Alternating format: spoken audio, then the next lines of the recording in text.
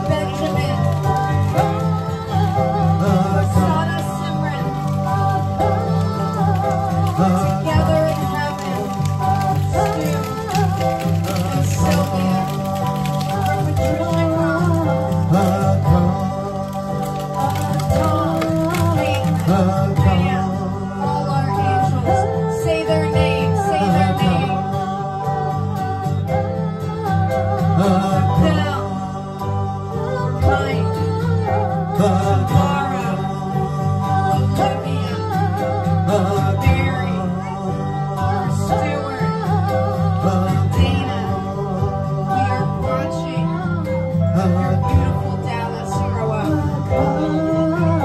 Franco,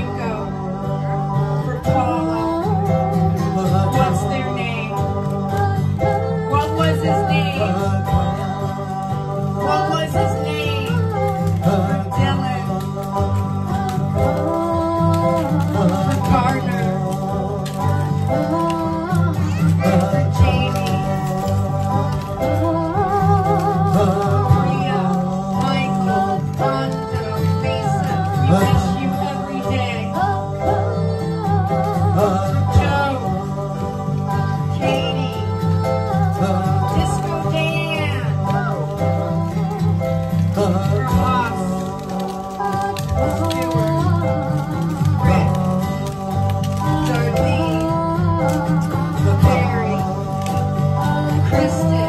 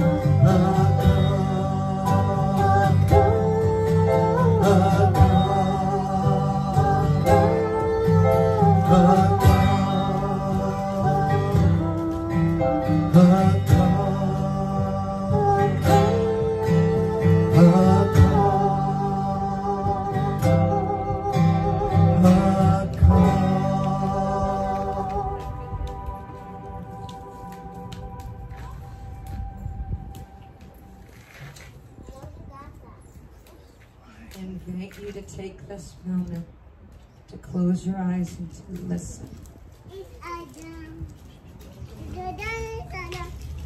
It's said that the ear of the heart is open when we are listening in stillness.